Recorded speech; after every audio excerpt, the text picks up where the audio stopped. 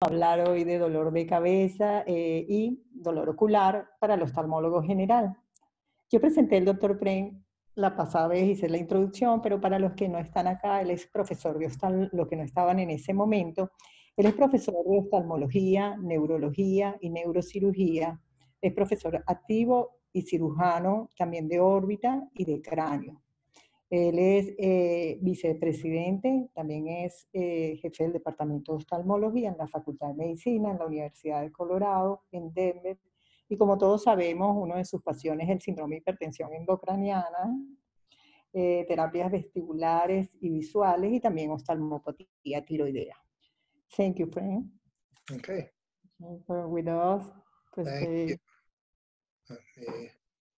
Uh -huh. Here. Okay. Okay, let me turn off my video. And perfect. Entonces. Great, Okay. Fabulous. All right. So I'm very happy to be speaking to you today on headache for the ophthalmologist.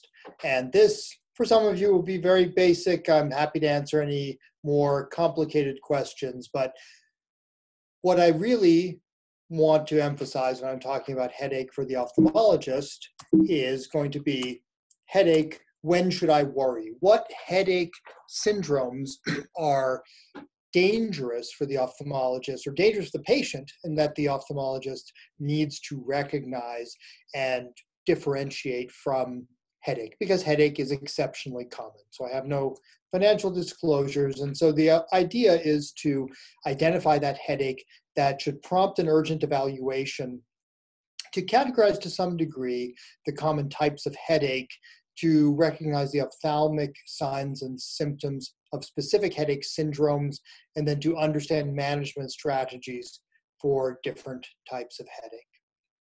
So the typical patient who comes in with headache is perhaps a woman in her 20s or 30s, like this 34 year old woman. She's had headache daily for four months. And in addition to having the headache, she reports blurred vision. She's not exactly sure what that means. She just says, My vision's blurry when my head hurts. Uh, cannot describe any specific scotoma, no missing vision. She has no flashes or floaters, and she doesn't feel that colors are washed out, nothing else with it. And her visual acuity is 20 20 in each eye at both distance and near. It's without correction but she strains especially at near. She has no rapd the visual fields to confrontation are full. She has normal extraocular movements and her intraocular pressures are normal. So in this particular instance headache is very common right it's been estimated that uh, upwards of 25% of the population has regular headaches. If we look at migraine headache, it's been estimated 18 to 20% of the population, especially in women, will have migraine headache that satisfies the ICHD3 beta, the International Classification of Headache Disorders, the most recent classification. They satisfy those criteria for migraine headache. And I will talk a little bit about the importance of recognizing the wide spectrum of migraine headache that can occur. Migraine headache is often the kind of headache that result that comes with aura that comes with light and motion sensitivity that gets better when the patient lies down in a dark room um, may be associated with menses these uh, characteristics of migraine headache are still true, but there are patients who experience migraine who will have only one or two of those characteristic findings. Now, what often brings patients with migraine headache to the attention of the ophthalmologist is the fact that they will have photopsias. And photopsias have been described in a number of different ways. And the photopsias of migraine headache, I think from the literature as well as my experience over the years, range well beyond the classic fortification spectrum that has been described as part of migraine aura. So we know that as ophthalmologists, we get these patients with migraine aura without headache. They will develop the colored or perhaps black and white flashes, often zigzag as shown here on this particular image. They often will block what the patient is looking at. They may start in a more compact manner in the center and then spread out more peripherally. And these patients, not surprisingly, come to the ophthalmologist first because they're not experiencing headache, or even if they are experiencing headache, they are very disturbed by these photopsias that occur. And there's actually a, a, wonderful book called Migraine Art, The Migraine Experience from Within, that was put out of a collection of a description of migraine aura as drawn or painted by a number of very accomplished artists. And so I think as ophthalmologists, as neurologists, it's kind of a fascinating read to see how different people, and in particular, again, artists, have interpreted what their migraine aura looks like. And I think it's very illuminating, no pun intended, as a physician to see what patients put out there as a description of their disease. So you, you see one example there on the left where the photopsias seem to fill the entire visual field. They have these starburst sparks along with this uh, jagged so-called fortification spectra that that description derived from the appearance of medieval fortification walls around around uh, towns and cities. And then you have a purely homonymous occurrence of this visual phenomenon in a different patient with migraine headache. And so patients will describe this. I've had patients come in with drawings. I'm sure many of you have as well.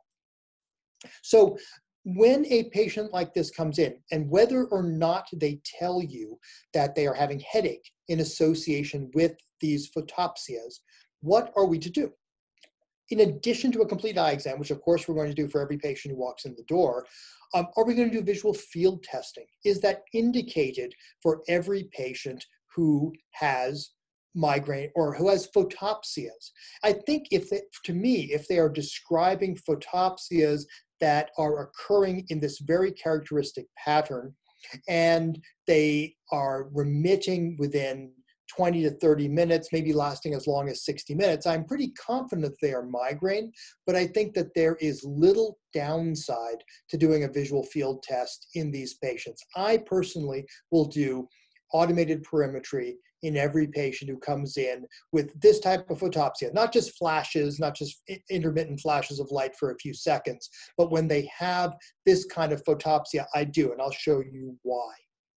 Do we need to do OCT on these patients? I don't think so. I think OCT is generally useless in these individuals. There are some studies that have tried to see do patients with migraine have thinner retinal nerve fiber? They have some degree of vasculopathic tendency. You know, the migraine causes uh, vasoconstriction or vasodilation, and that that, or actually vasodilation, and that that's going to damage the retinal nerve fiber layer. From a clinical practice standpoint, I don't think it makes any sense to do OCT routinely on these patients. And is there anything else that we need to do in these individuals? Well, I think that we need to remember that we are doctors first, and we need to turn on the lights and look at the patient. Is the patient wearing sunglasses? Okay, there are some patients with sunglasses who are, um, and uh, let's see if we can get rid of the green lines on the screen here. Someone's drawing on the screen, so maybe we can get rid of those green lines. But uh, in any case, if a patient has 10 out of 10 pain, that's always a little worrisome to me. Migraine pain can be severe, but it is usually not something that the patient is going to categorize as the worst pain of their life. Um, if a patient is ill appearing and they come in with photopsias, um, an elderly patient who has lost weight um, unintentionally, a patient who I know has cancer, if they are having photopsias, I'm going to be a little more concerned but things that support the idea of having migraine type of aura, photopsias that go along with that, a history of car sickness, a history of sleepwalking as a child. These are factors that support the idea that the patient may just simply have migraine headache and migraine aura. Um, but things that argue against it, transient visual obscurations, makes me think of papilledema, right? It's not going to make me think of migraine aura. And patients with pseudotumor cerebrine papilledema can have photopsias, perhaps because of tugging of the vitreous on the optic disc. Pulse synchronous tinnitus, again, goes along more with pseudotumor binocular diplopia, of course, not characteristic of migraine headache, uh, a new severe localized headache, and of course, worst headache of my life. Uh, a headache that is always in the same place, is always a little bit worrisome. And this is, again, just another example of the drawing of those fortification spectra.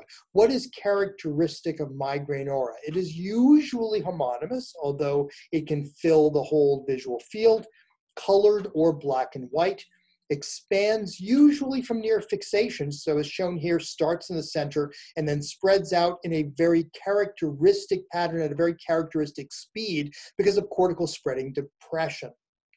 And usually lasts at least five minutes. If it's less than five minutes, it's uncharacteristic of migraine aura and should not last more than 60 minutes. If it lasts beyond that, that again makes me worried that this is something else. And not all patients, of course, develop subsequent headache.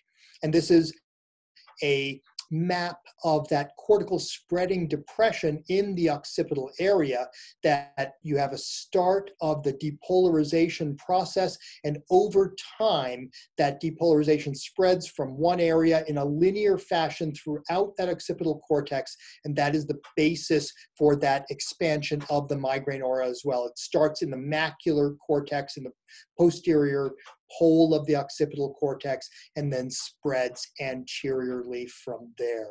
So this is again the physiologic basis of the uh, reason why uh, people will get the characteristic pattern of their migraine aura.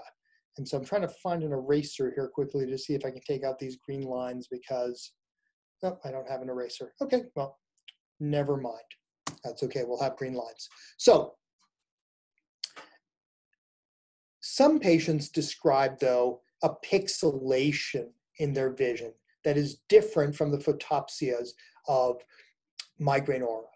And we have some patients who, after their migraine aura, they will describe that there are these persistent little flashes of light and they eventually remit. But then I live in Colorado. It's not the time of year where we have snow, but certainly patients will describe this snow in their vision. And I think it is important when we talk about photopsias and we talk about headache that we talk about the idea of atypical symptoms that have been classified as migraine aura but aren't really migraine and what things should make us think about factors that are not quite characteristic. The symptoms last for less than five minutes, I already mentioned that, that is more likely to be some other process. It could even be a persistent transient visual obscuration. It could be ischemic. It could be a variety of things, but it is less likely to be migraine. Photopsias without form. So again, because of that characteristic cortical spreading depression, patients usually see a pattern of some sort. They'll see zigzags, they'll see the stars in a pattern, but they usually don't just see bright flashes, blinding flashes of light. That's a little bit different. If they have highly stereotyped symptoms, the photopsias are always in exactly the same place that's a little worrisome as well. When the patient tells me, oh, it worried me because the first time it was on the left side and then the second time it was on the right side, that actually makes me feel a lot better because that's much less likely to be a uh, warning sign of a structural lesion, so constant laterality, an absence of headache. Um, no history of migraine, but particularly patients who are older. I get migraine without aura. So I get acephalgic migraine. I will get migraine aura that lasts up to 30 minutes and then it goes away. And I am blessed, one of those fortunate people who doesn't get the headache afterwards. But it started when I was 23 years old. If it started now when I'm in my 50s, that would be worrisome. That would be uncharacteristic for migraine aura without headache. And I would stick myself in an MRI scan to make sure there wasn't something else going on. For example, this is a patient who was initially thought to have migraine aura. This was a teenager who was having intermittent, formed photopsia, so more of a fortification type spectra, but they were always on the same side. They were always on the right side of vision. And of course, eventually this patient underwent an MRI scan of the brain and it showed that there was this malformation, this vascular malformation in the brain that was irritating the adjacent cortex and causing those symptoms. The other thing that comes up that I alluded to when I mentioned, when I put up the picture of the lovely winter landscape, is visual snow. And visual snow has been described by patients as being continuous dots in the vision. So there are certainly people who are listening to this talk who, like me, and maybe I don't know if in South America you still have times where the TV uh, stations stop broadcasting, but the, they would broadcast this pattern, this static pattern that would appear on the television screen, or this was just the baseline on a cathode ray tube. And patients have described this phenomenon being in their vision. And the visual snow syndrome has been described as this uh, uh, appreciation of continuous dots in the vision with at least two of the four accompanying features. So if a patient comes in and just says, oh, my vision looks pixelated, uh, that's not enough to make a diagnosis of visual snow syndrome. They should have palinopsia, so persistent visual images, or more commonly, trailing of images as they look from one thing to another. Enhanced entoptic phenomenon, so they may really experience those blue light entoptic phenomenon or seeing red blood cells going across the retina. They are perhaps hyper aware of these entoptic phenomena. They may have severe photophobia or they may have conversely nyctalopia. And so some combination of these symptoms along with this characteristic description of visual snow is required. Their symptoms, of course, should not be attributable to typical migraine headache and not attributable to something else like drugs. There are drugs, drugs of abuse, that can also cause patients to have snowy vision and will give them these various symptoms. And so there are a number of different ways in which, again, patients have described their visual snow. Some, like in panel B, it's just, again, a fuzziness to everything. In panel D, a description of the palinopsia or trailing that patients see. These are some of the enhanced entoptic phenomenon, seeing floaters or other blood vessel structures projected against a blue background and some of the other phenomena of the patients. E is again visual snow against a background of a blue sky with clouds, and just showing you some of the things that patients have described as being characteristic of their visual snow. Um, is, I don't think it's a variant of migraine aura. I think we're getting more and more data to tell us that it is not because it's constant, it's unformed, and it's throughout the visual field. And in my experience, I have tried to treat some of these patients as though they had status migrainosus to give them a bolus of prednisone and taper them quickly over a course of six days. And while it maybe has a little bit of a placebo effect in some patients, I don't think it is truly affecting their disease and truly resulting in a downregulation of this phenomenon. It does tend to be recognized more by young patients they may say in retrospect, even though they come to see you at age 23 on average, that if they think back even to childhood, they experience these phenomena. Um, but in terms of therapy for these patients or in terms of treatment, um, lamotrigine has been shown to have some benefit, and that may be something to offer to these patients. I don't think we understand the mechanism of action for it. And again, just for those of you who have never seen actual snow, you can go on YouTube, and if you are really, really bored, you can put this video and loop it over and over again and watch visual snow on your own computer. I don't recommend that you do this on an ongoing basis. Um, this is a patient who came to see me, a 63 year old man who was dri- having trouble driving at night. He was bumping into objects. He was seeing flashes with his eyes closed. And he was referred to me primarily because he was seeing flashes, because he was having photopsias. And his visual acuity was normal in both eyes. He had slow pupillary reactions, and his visual fields did show generalized constriction. He did not have a cancer history, but he turned out to have cancer associated retinopathy. So again, he didn't have headache, but this was the photopsias that had been mistaken for a migraine like phenomenon. He was sent to see me, and only by putting together the picture of visual disturbance, constricted visual fields, and the photopsias did we recognize that he had a paraneoplastic syndrome. He had symptoms before his cancer was found. He was found to have colon cancer that was causing his paraneoplastic syndrome cancer associated retinopathy, an autoimmune process, generally from antibodies uh, to anti enolase or to um, anti recoverin. And the main way in which we manage these patients is to treat the malignancy. Now, another condition in which photopsias are common, where headache is common because it tends, this condition affects younger patients, but the photopsias have nothing to do with headache, is in this condition here, where this 43 year old woman who had a history of Lyme disease that had been treated but otherwise was in excellent health. She had several days of photopsias in her left eye, but she also reported that she had an area of scotoma in her left eye. She um, had acuities of 2020 and 2040. She did have an RAPD in her left eye, which typical migraine photopsias will never give you, of course. And she had an enlarged blind spot in the left eye, a normal visual field in her right eye. And so this, another cause of photopsias, the AZOOR, the occult zonal outer, ret, um, excuse me, occult zonal um, outer retinopathy, or um, acute enlargement of the blind spot syndrome. These two conditions are a spectrum of disease with photoreceptor dysfunction. That photoreceptor dysfunction can be unilateral or bilateral. We don't know what causes it. The cause remains unknown.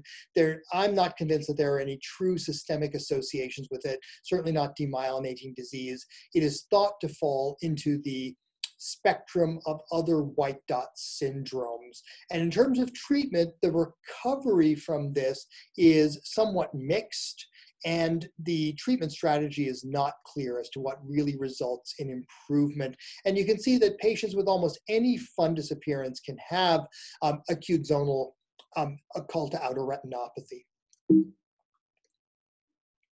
Now, remember, this is a talk about headache.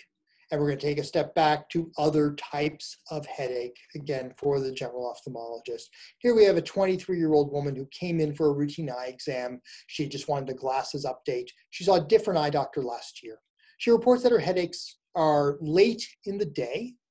She has nausea but no vomiting, and she's sensitive to light and sound she has gained 30 pounds in the past year. And I neglected to mention when I was talking before about the migraine type of photopsias and the mimickers of that, that in general, if a patient has three characteristics of migraine headache nausea, light or sound sensitivity, difficulty with motion or motion making the headache worse, they have a 90 8 to 99% chance of their headache is migraine.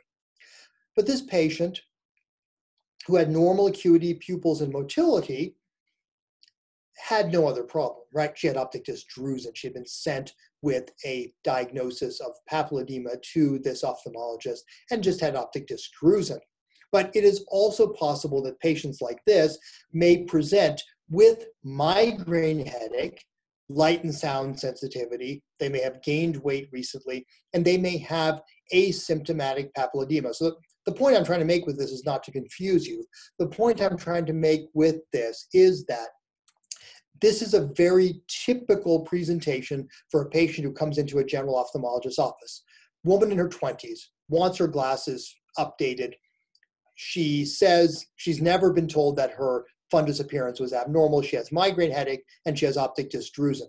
But uh, the next patient who walks in the door could very well have papilledema which is the importance of paying attention to whether they have other symptoms and then talking to the patient and saying, well, have you ever had transient visual obscurations? Might you have pulse synchronous tinnitus? You have gained weight. Have you taken any other high risk medicines for pseudotumor cerebri? So, in terms of the headache that occurs with papilledema, malignant hypertension always has to be kept in mind, particularly when the optic disc swelling is very severe or is very hemorrhagic in nature, and the patient may or may not have a history of hypertension. I do visual field testing in all of these patients who come in the door because we need to get a baseline for what their optic nerve function might be to correlate if there is any actual vision loss with the severity of the papilledema that they are presenting with. And then they get sent on to get either a CT or an MRI to exclude obstructive hydrocephalus. So this is a three-step approach I recommend to a comprehensive ophthalmologist when seeing a patient in the clinic who you think might have papilledema check blood pressure first, do visual fields to look for any defects, and then CT or MRI.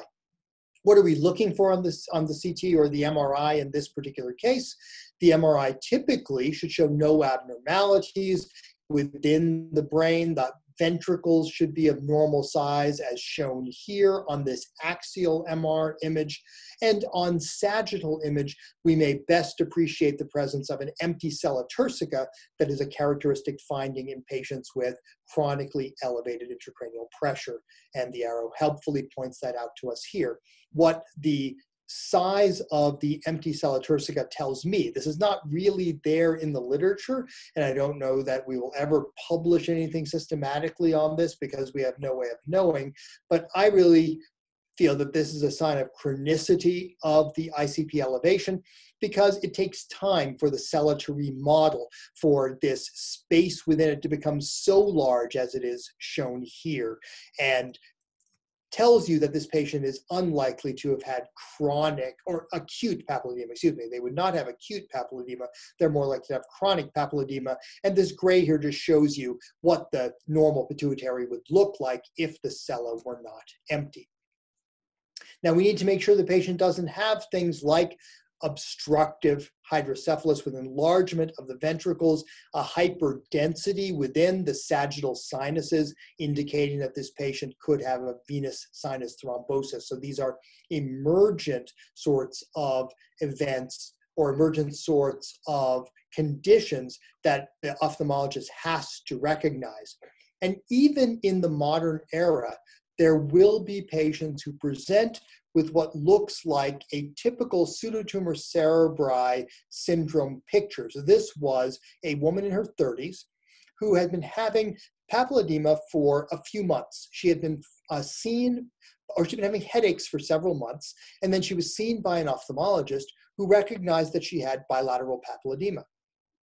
She had um, some visual field abnormality. She did have a mild APD in one eye but she was not really complaining of any vision loss.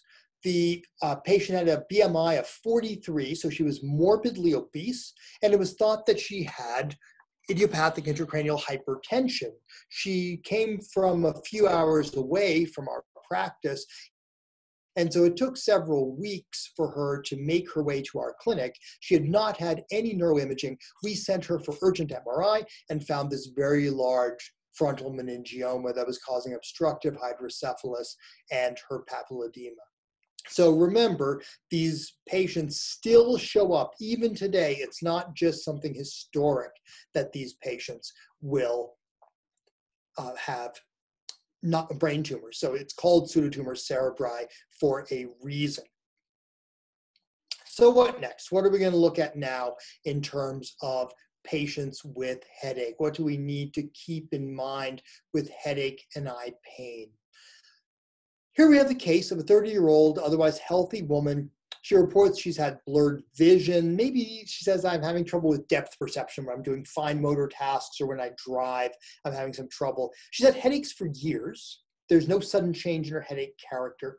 She has normal visual acuity, slightly reduced color vision, and now she has a right relative afferent pupillary defect. But you do visual field testing on her because she's complaining of difficulty with depth perception, and we find some significant abnormalities, right? So she came into the office saying she has depth perception trouble, that she has headache for years, and the headaches, along with blurry vision, are what prompted her to come in. She does not report having any trouble with her peripheral vision, but yet she has a significant bitemporal hemianopia. Well, how does this figure into the headache side of things? Well, clearly with a bitemporal hemianopia, we want to look in the area of the optic chiasm as shown here in this coronal T2 weighted MRI. And this was her MRI, not surprisingly, where she has a moderately sized suprasellar tumor causing chiasmal compression, causing draping of the chiasm, a very chronic compression of the optic chiasm that is leading to her bitemporal hemianopia.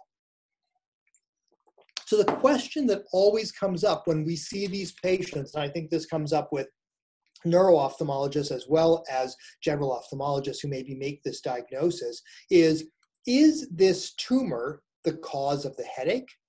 Is has this tumor been the cause of the headache all along? And is treating this headache necess- or is treating this tumor going to result in headache improvement?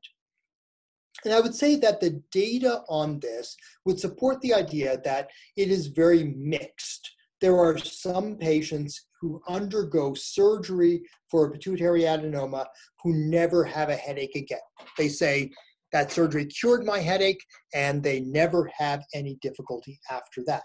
But remember, this patient has had headache for years. This tumor has probably been there for some time, but to, we cannot be certain by any means that this headache is being caused by the tumor. And I typically do not assure the patient that their headache is going to get better when this tumor is removed. Now, one condition in which I think it is very important that we as ophthalmologists recognize that there can be severe headache with pituitary tumor, and this is potentially a life threatening crisis, can be seen by this ring sign here, which the arrow is pointing to. So you have a suprasellar tumor with the central dark area and this rim of and this is characteristic of pituitary apoplexy. And that is shown here where we have um, some hypo intensity within the mass of the tumor and an acute compression of the right side of the optic chiasm and the right optic nerve by this sudden expansion of that suprasellar tumor. So that sudden expansion causes headache. It may involve the cavernous sinus as well, but doesn't always have to. So diplopia and ptosis may be part of the picture, but headache with this kind of or sudden severe headache and potentially with vision loss is a hallmark of pituitary apoplexy. Acute pituitary apoplexy is a life-threatening condition. And chiasmal compression with field loss is the usual way in which it presents. Optic nerve compression can occur unilaterally, and it is reversible if treated quickly by an experienced neurosurgeon who knows to preserve that vascular plexus underneath the chiasm. Now, subclinical pituitary apoplexy is more common. In other words, if you see a patient who has bitemporal hemianopia and you get an MRI scan, you may find evidence in their uh, scan that there has been intermittent hemorrhage. There may be heterogeneity within the pituitary gland that points to subacute or subclinical pituitary apoplexy. Because 2 to 12% of tumors undergo apoplexy. However, it's the presenting sign of the pituitary tumor in 50% of cases when I see a patient who comes to me with, with a pituitary tumor, no history of pituitary apoplexy, but maybe they're referred to me because they have bitemporal hemianopia and a suprasellar tumor has been discovered or maybe hasn't been discovered yet, I caution every one of them about pituitary apoplexy because that drop in cortisol that occurs when you get necrosis of the pituitary gland, that sudden drop in cortisol could kill the patient within hours. Prompt recognition of the pituitary apoplexy, though, can result in significant improvement. This is a patient who came to see me who had sudden onset of a bitemporal hemianopia, left eye worse than right. She did, uh, she had no relative afferent pupillary defect. Her MRI showed a very large lesion in the suprasellar space. She was taken to surgery within 24 hours, and by six months later, you can see that her visual field defect has completely resolved. So timely intervention in patients with pituitary apoplexy can preserve their vision, but also can preserve their life and make sure that this uh, occurs. Pardon me, I am on call. I need to take this call quickly. Pardon me. This is Dr. Subramanian.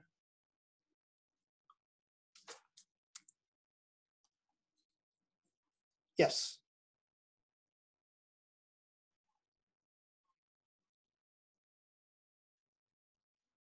Okay, go ahead.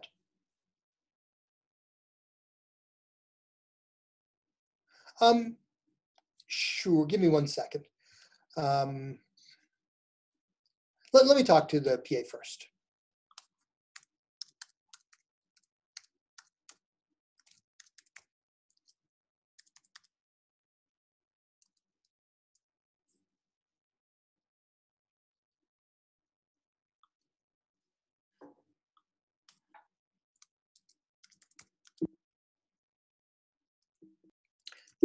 I'm going to talk about headache and vision loss. And headache and vision loss can occur, you know, we know that this is a life-threatening emergency, right? An 84-year-old woman, headache over her frontal and temporal areas. She's had two months of weight loss and fatigue, sudden complete vision loss in her left eye with light perception vision 2040. She has left RAPD, and of course you can't test her field. Um, I would think that any ophthalmologist is going to recognize this as giant cell arteritis. But headache and double vision also can present as a life-threatening emergency, and those of you who were here when I talked about diplopia previously will know that I showed a case of a woman like this who had mild ptosis of her right upper eyelid. She had a small hypertropia caused by um, deficit of extraocular movement, and she had mild anisocoria, and this was a third nerve palsy that presented as headache and double vision, but it was initially just thought to be double vision that was attributable to the fact that the patient was in severe pain. So please be very careful not to make an assessment like that and to think that the patient is just having pain causing double vision. You must think of the fact that the patient could have an aneurysm arising from the post a junction of the posterior cerebral, posterior communicating artery. Hello? Um, posterior communicating artery, aneurysm arriving at the junction of the ICA and the internal carotid artery, compressing the third nerve. This shows you what a uh, surgical view would look like with the optic nerve here. This is, of course, on the right side, not on the left side. This is the internal carotid artery. Here's the aneurysm, and here's the third nerve being compressed by the aneurysm. Aneurysm ruptures, the cause of 5 to 15% of stroke worldwide. 20% of all subarachnoid hemorrhage patients die without medical care. Those who reach medical care and are diagnosed with subacute hem, uh, so with subarachnoid hemorrhage die from acute causes, and 50% of survivors have severe disability. So we're left with, of 10 patients who maybe start with aneurysm, two of them go on to have a good normal life we know that headache and ptosis is another condition where we need to pay more attention. So when a patient comes in to see you in your office and complains of new ptosis, in addition to headache, this is a 40 year old woman who's otherwise healthy. She has episodic headaches on the right side of her head and face. She has severe pain that then remits. She has no visual change, but she has this picture here. So on the right side of her it's on the right side where she gets these episodic headaches and these episodic severe pain on the right side. She has a smaller pupil than on the left. She has a small degree of ptosis compared to the left, and maybe a little bit of lower eyelid elevation, although it's not very obvious. So when I see a patient who presents with headache and purely ptosis, know, ptosis is common, headache is common. So I'm not necessarily going to be thinking that they have a syndrome like this, like a Horner syndrome, as I'm showing here. But always keep in mind when you see this persistent anisocoria, smaller pupil on the side of the ptosis, that we have to think of Horner syndrome. Now, Horner syndrome certainly is characteristic to occur with the trigeminal autonomic cephalalgias, or the TACs as they have been called. And the spectrum of this disease is quite broad. Cluster headache is perhaps the more common form of the trigeminal autonomic cephalalgias. Cluster headache is defined by exactly that. Patients get these severe episodes of unilateral head and face pain that come in clusters. And the episodes last for anywhere from 15 to 180 minutes. During that time, they may have some tearing, they may have some injection of the eye because of autonomic dysfunction that goes along with the trigeminal distribution pain. And that tri- autonomic dysfunction may not remit. So in the patient I showed you before who has a Horner syndrome, that may be a sequela of cluster headache. Now, cluster headache is more common in men than in women. So when a woman comes in complaining of symptoms that are characteristic of cluster headache, I'm a little more likely to maybe do MR imaging or some other investigation, as I'll show you on the next slide. But you can be a hero as an ophthalmologist by making some of these diagnoses because many of these patients are misdiagnosed with migraine headache because migraine headache is common, right? But the response of trigeminal autonomic cephalalgias to migraine therapy is usually quite poor, at least a, a, few times a month. I will get a patient like this who comes in, is sent to me because maybe they have some blurred vision, maybe they even have a Horner syndrome, and they are being treated for migraine headache, and they are miserable from their headache. You know, these are drawings of how patients have described their pain with trigeminal autonomic cephalalgia. And but if you recognize that they actually have cluster headache, paroxysmal hemicrania with lancinating pain, different from, uh, this is not trigeminal neuralgia, this is a different kind of pain. It lasts for longer. And hemicrania continua, a constant pain over half of the head. Other types of conditions, SUNCT, um, severe unilateral neuralgiform headache with conjunctival tearing, SUNA, these variants of the trigeminal autonomic cephalalgias will respond. Some of them respond to, uh, to oxygen therapy, others respond to anti seizure medications, and it's very important to make this distinction. But not all patients who have headache and Horner syndrome will have a trigeminal autonomic cephalalgia. And if this 40 year old otherwise healthy woman came in with new headache and neck pain after a motor vehicle accident and, and noticed a mild right upper eyelid ptosis, the patient didn't note anisocoria, but you did on your examination and the remainder of the exam is normal, you need to be concerned that this patient could have a carotid dissection. This is showing the crescent sign that you see, the um, enhancement with a small preserved lumen and a narrowing, a loss of signal within the normal internal carotid artery. This dissection compresses those sympathetic fibers coming along the carotid, and this is potentially an emergent condition for which you need to make the diagnosis. So those are the dangerous sorts of things that I want you to be aware of. I'll spend the last several minutes here talking about all these other headaches, right? Migraine headache without aura. Is there anything the ophthalmologist needs to be worried about in patients who have migraine headache without aura? Well, I would say that there's a small group of these patients who get diagnosed with pseudotumor cerebri without papilledema. They may be sent to you as an ophthalmologist to see if they have visual field defects, or they may be sent to the neuro-ophthalmologist with this diagnosis of pseudotumor cerebri without headache. And the advice I give these patients based on my experience and based on the literature is that the ophthalmologist has a limited role in the care of these patients. They almost never lose vision because they don't have papilledema, and papilledema is the reason for vision loss in the setting of pseudotumor cerebri and headache. And migraine headache without aura is not really associated with any ophthalmologic disorder. Sinus headache. I forget if sinus headache is a diagnosis that is frequently made in South America or not. It is a common North American diagnosis. It is made because patients often feel head stuffiness. But if these patients get a scan, a CT or an MRI, their sinuses are clear. The pain is trigeminal pain. Uh, migraine headache causes activation of the trigeminal system, but they get labeled with this sinus headache. And I think that's finally falling out of favor in North America tension headache. Tension headache, the typical, the kind of headache like I have at the end of the day, right after dealing with the laboratory and dealing, being on call and have, getting a call, and then the uh, physician's assistant who called decided that they not really didn't really need to see me, so I'm sitting there on hold for three minutes. That gives me a headache, right? So tension headache, band-like tension across the forehead. Does this ever lead to vision issues?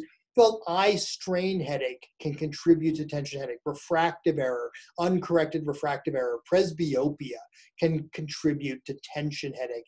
Presbyopia doesn't cause migraine headache. Presbyopia doesn't cause ptosis. Presbyopia doesn't cause the other things I talked about, but it's generally benign. And then, you know, my kids give me a headache, right? You know, there are all sorts of headaches that are out there. And I think as ophthalmologists, we need to be aware of these different kinds of headaches, but realize that most of them don't really have any visual consequence. I put in a single slide on eye pain. I did not want to go into great detail about eye pain. And why is that?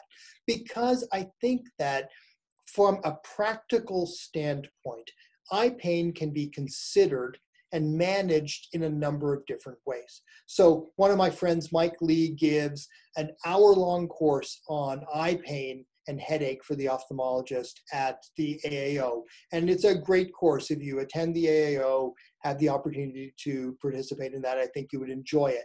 But this is the short version of how to manage patients who come in with eye pain. I will say, as a neuro-ophthalmologist, when I see an eye patient, eye pain patient on my schedule, my heart sinks a little bit because the majority of patients with eye pain have referred pain, and typically it's headache pain that is referred to the eye, usually migraine headache pain. I don't know about you, but then I spend um, an inordinate amount of time talking to the patient, explaining the trigeminal innervation system, explaining that the innervation of the eye socket is the same as the brain, and that if you have headache, the sensation can be in the eye, on the eye, behind the eye. And I think three quarters of the time they walk out thinking I'm crazy and they don't believe me.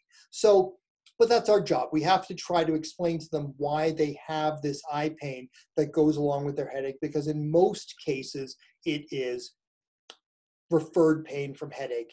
They will say uh, have retrobulbar pressure or things like this. It's referred pain from headache. But what specific causes should you investigate in patients who have eye pain? And again, I'm talking about eye pain without vision loss, not eye pain with vision loss, right? Because eye pain with vision loss can be a whole host of things. Optic neuritis in the right age group, even ischemic optic neuropathy in a subset of patients can be painful. And in a series of patients that we are going to be publishing very shortly, we have found that presumed ischemic optic neuropathy in patients of the age where NAION is characteristic, but who have pain may in some cases have a MOG associated optic neuropathy. So interesting things we're learning about that. But again, eye pain without vision loss. Exposure keratopathy, you already probably know how frequently it is that exposure keratopathy as a source of eye pain is overlooked by general physicians, by optometrists, and even some comprehensive ophthalmologists, unfortunately. I, any patient who gets to me with eye pain, they get a drop of proparacaine in the eye as one of the first steps for me to try to figure out if they have surface disease and if that's the cause of their eye pain. I get a number of patients referred to me for possible trochleitis, and only a small subset of them will have that disorder. So, trochleitis is a very specific diagnosis. You get make it, and I don't know, if, know how many of you can see my video, but you make it by really just pushing in the area of the trochlea, and the patient says, "Ow, ow, ow, ow, stop that," because and it's going to be almost always unilateral. I have never seen a patient with bilateral trochleitis. Trochleitis, a variant of orbital inflammatory disease. Eye pain without other findings can be a presenting symptom of thyroid eye disease. So I always keep that in the back of my mind because in the early stages of the inflammation, the patient may just have retrobulbar pressure. And it's important to look for other potential signs of thyroid eye disease that can help you to make that diagnosis the pain of orbital inflammation is usually quite severe, but the patient may have no other external signs. We think that a patient with eye pain in orbital inflammatory disease should have something else, right? They classically have a red eye, or they have periocular swelling, or they have swollen lacrimal gland, or they have proptosis. But if they have isolated myositis, for example, they may just have pain. They may not even have double vision, but they may have intense pain. So we have to keep that in our differential diagnosis. Greater occipital neuralgia is underdiagnosed. And if you make this diagnosis, especially as an ophthalmologist, you will be a hero. Your patients will love you because these are patients who have gone from doctor to doctor to doctor trying to figure out why they have eye pain. And they will have constant or intermittent eye pain that never but it never goes away completely it, it gets worse and better but it never goes away completely and if you do a simple examination maneuver where you press on the area adjacent to the greater occipital tubercle where the greater occipital nerve runs, and the patient will jump out of the chair in pain because you will have made their pain, you will have made a diagnosis and you will have temporarily made their pain very severe by pressing. So that's the diagnostic maneuver to understand and recognize greater occipital neuralgia. And the patient will love you forever because this is a treatable cause of eye pain. They can get injections of lidocaine and or steroid into that area to quiet down that inflammation of the greater occipital nerve. What's being recognized now more and more is neuropathic pain neuropathic pain resulting either from chronic migraine, resulting from chronic exposure keratopathy, and those trigeminal nerves just fire, fire, fire, keep firing, and the patient unfortunately has persistent pain that doesn't respond to headache therapy. It doesn't respond to topical anesthetics, but it may respond to drugs that treat neuropathic pain, drugs like gabapentin or pregabalin. So again, making a diagnosis of neuropathic pain can be very helpful. I have a patient who I'm going to be treating in the near future who has such severe neuropathic pain in his right eye that he is suicidal.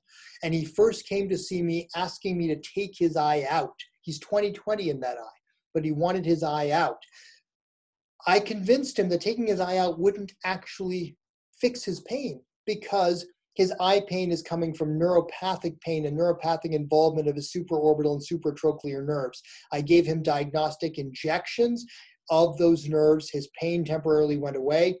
I'm going to go in and surgically cut his supraorbital and supratrochlear nerves with the hope that doing so will cut off transmission of that neuropathic process. It's going to give him some numbness on his forehead, but I'm hopeful that that will help him. Neuroimaging is not really helpful in patients who have isolated eye pain with no vision loss, no other findings. This has been demonstrated in studies in the literature and holds out in my experience as well. And I already spoke about some of the diagnostic tests that I like to use in these patients with eye pain. so I'll be happy to take any questions now. But remember, headache is common. You want to look for the associated symptoms of nausea, light sensitivity, aura, uh, motion sensitivity that help you to make a diagnosis of migraine headache with 99% certainty in patients who present with characteristic photopsias. But remember that atypical photopsias need to be worked up further. They should not be attributed to migraine. Papilledema, we know, needs to be evaluated urgently, and we need to be alert for warning signs with headache, diplopia, anisocoria, or ptosis that tell us that the patient has some other disorder. So again, thank you for your attention, and I'll be happy to take any questions. Thank you.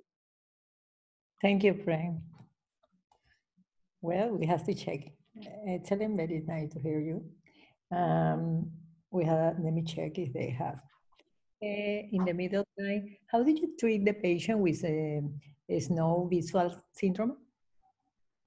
With visual snow syndrome, I will um, often try lamotrigine.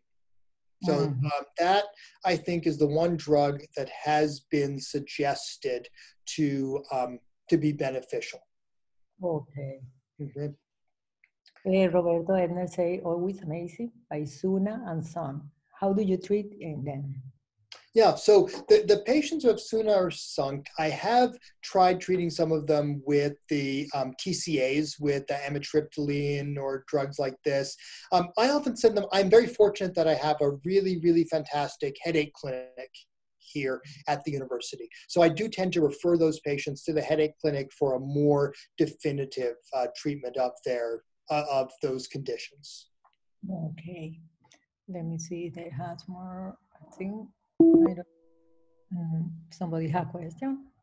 Excellent talk. Uh, thank you so much. And let me see. Always amazing. Excellent. Nice to hear. I think, I don't know if somebody has a question. You want, somebody want to do a question? And I'll just mention that um, Indocin with SUNCT syndrome, once in a while you give them Indocin and they immediately have relief. So Yep. keep Indocin, indomethacin in mind uh, for SUNCT syndrome. Um, sometimes it makes a huge difference.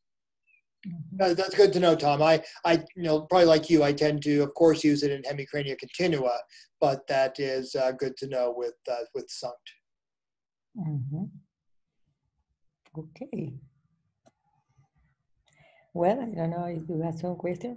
Somebody may confuse me. Um, congratulations for you for my private mesa. Probably they confuse my. okay. And I, let me check in Facebook. We don't have questions. Thank you so much. Hey, thank you, everyone. Have a good evening. Thank you. Bye bye. Bye. Hasta mañana. Gracias a todos.